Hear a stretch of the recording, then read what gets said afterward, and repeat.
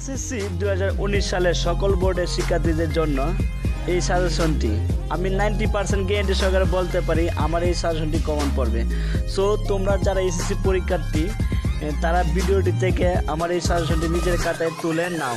এবং পরবর্তীতে অন্য সাবজেক্টগুলোর শর্ট সাজেশন পেতে, যারা চ্যানেলটি সাবস্ক্রাইব করুনি তারা আমার চ্যানেলটি সাবস্ক্রাইব করে অ্যাক্টিভ থাকো। পরবর্তী ভিডিওগুলো সবার আগে পেয়ে যাবে।